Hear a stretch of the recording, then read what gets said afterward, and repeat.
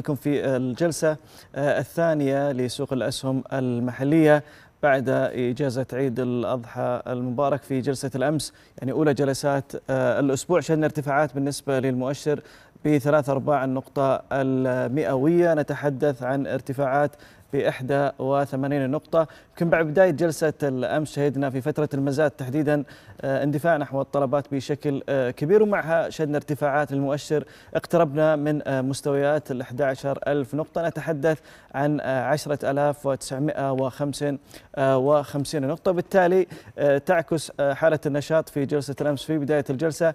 عملية تصفية المراكز بالنسبة للمستثمرين ما قبل إجازة عيد الأضحى خصوصا أنه ما زالت الأسواق العالمية كانت مستمرة خلال الأسبوع الماضي وشهدنا معها تقلبات بالنسبة للأسواق الأمريكية تحديدا التي شهدت تراجعات بالإضافة أيضا إلى أسعار النفط التي شهدت يوم الاثنين الماضي تراجعات بعد اتفاق أوبك بلس بالنسبة لتعديل شهر الأساس للمنتجين. نتحدث عن خمس دول قامت بتعديل شهر الأساس وبالتالي هذا يمكن أعطى نوع من المخاوف من زيادة المعروض وبالتالي شهدنا تراجعات لأسعار نفط تقاربت السبعة في المئة لكن في نهاية هذا الأسبوع عادت الأسعار إلى الارتفاعات ونتحدث عن مستويات أغلقت فوق ال 74 دولار لكن مع بداية جلسة هذا اليوم شهدنا تراجعات بنصف النقطة المئوية لأسعار النفط. أذكر ما زالت إعلان نتائج بالنسبة للشركات مستمر للسوق المحلية. كان هناك إعلان بالنسبة لموبايلي للنصف الثاني. كان هناك ارتفاعات ب 49 في المئة.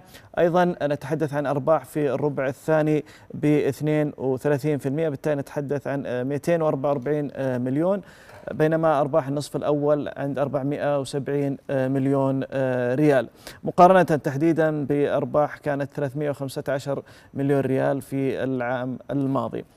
أيضا ينساب كانت على ارتفاعات بالنسبة لأرباحها في نهاية النصف الأول بمليار و17 مليون، الربع الثاني تحديدا الأرباح نتحدث عن 596 مليون ريال، أيضا أذكر اليوم تبدأ مرحلة الاكتتاب وفترة تداول حقوق الأولوية بالنسبة لسهم الحكير وبالتالي هناك رفع لرأس المال من 343 مليون ريال إلى 650 مليون ريال، تنتهي الفترة يوم الاثنين الثاني من أغسطس. لكن تستمر بالنسبة هذه الفترة تداول حقوق الأولوية لكن بالنسبة للاكتتاب ينتهي يوم الخميس الموافق ل 5 أغسطس. اليوم بس ملاحظ كان هناك ارتفاعات للبيتكوين قاربت ال 40 ألف دولار. أيضا أذكر بالأمس كان هناك داعم لأداء المؤشر سهم سابق والراجحي وبالتالي أيضا كان ارتفاعات بالنسبة لقطاع المواد الأساسية. السوق الآن على ارتفاعات مع بداية هذه الجلسة ب